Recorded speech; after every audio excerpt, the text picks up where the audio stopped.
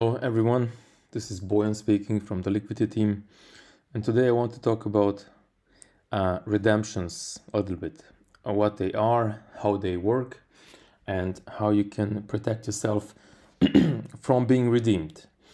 So redemptions come into play when you borrow or where you when you take out uh, a leverage position.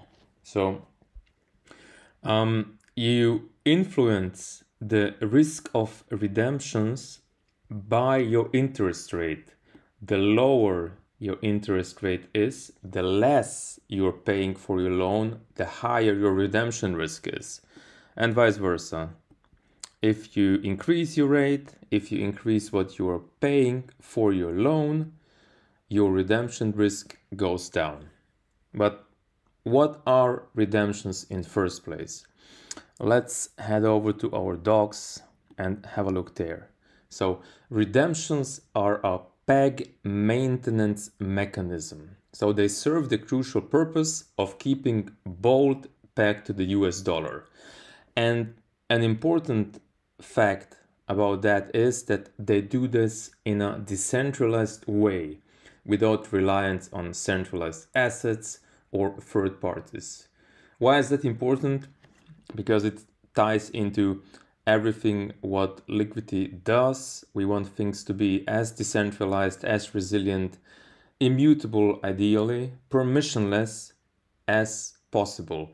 And literally every other stablecoin employs either centralized assets like USDC or some type of governance to handle peg maintenance. Redemptions do not rely, do not need any of that. Okay, so how do redemptions work now? Let me start out by saying that anyone can be a redeemer. But experience shows that the vast majority, or pretty much all redemptions, are done by bots. So if you as a user want to repay your loan, reduce your debt, you do that on the front end. It has nothing to do with redemptions. You can either repay a part of your loan, reduce it by any amount you want, or you close your loan. This means that you are repaying your full debt. I repeat, redemptions have nothing to do with repaying or reducing your debt. A redemption is really nothing else but a swap within the Liquity V2 protocol. The redeemer will send his bold to the system and get back an equal value of collateral assets. Where is the collateral coming from? It is coming from borrowers, so from other users. I will explain how, when, why this makes sense. For the time being, just remember a redemption is just a swap from bold to collateral assets. So, first thing to know is that within Liquity V2, Bold is always valued at exactly $1. While on the open market, of course, it can fluctuate. It can be at, above, or below $1. And only when it is below $1, redemptions make sense. Only then they are profitable. What happens next? A user, or most likely a bot, notices this discrepancy and it sends $99,000 to Uniswap or to some other DEX purchasing 100,000 BOLD. This swap, this increased demand is what brings the price of BOLD up closer to peg again. It then sends those 100,000 BOLD to the protocol where the protocol decreases the debt of the affected users, of the affected borrowers, and in return sends $100,000 worth of collateral assets to the redeemer, netting him a 1K profit. Let's look at redemptions from the borrower's perspective.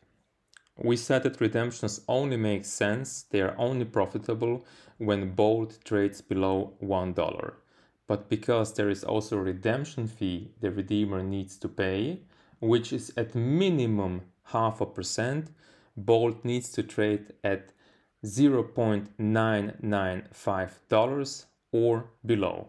Otherwise, it's economically not feasible. No.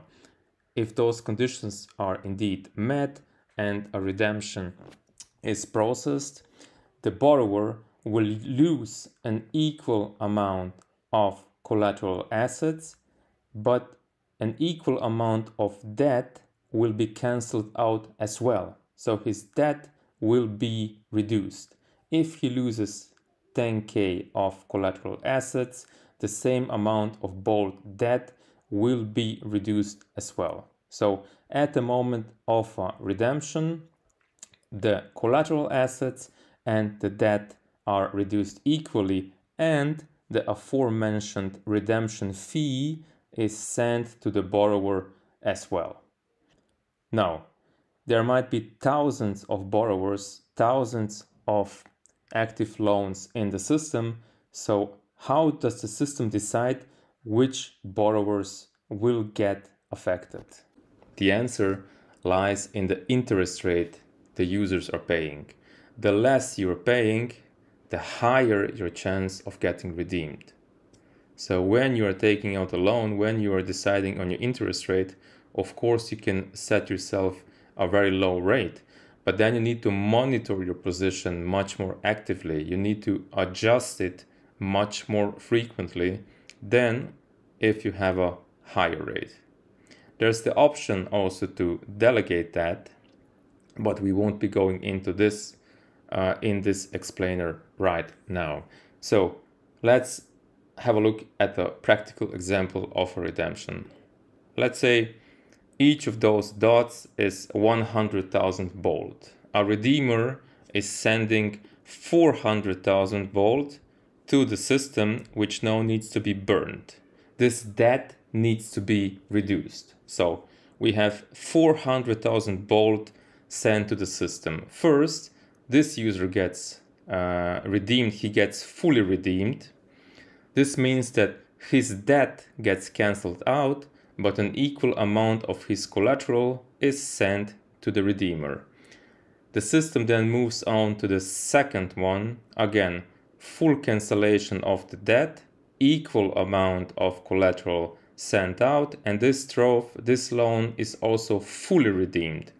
The next one is only a partial redemption. Again, the remaining 100,000 BOLD are found here, they are reduced, the debt is reduced, and an equal amount of collateral is sent to the redeemer. So we have one, two, three, four hundred thousand um, dollars worth of collateral sent and an equal amount reduced from the system. As a final fact, I want to mention that there are three collateral types within Liquity V2, and when a redemption happens, all of them are affected by it. As a result, the redeemer always receives a mix of collateral assets. He cannot choose which one he wants to receive. In the example, you can see here 28%, 33%, and 39%. How this split is determined is based on the outside debt for each collateral market. If you want to learn more about that, please check our docs or the white paper. But this now concludes this redemption explainer. I hope this was useful, but if you have questions, do head over to our Discord. Thank you very much.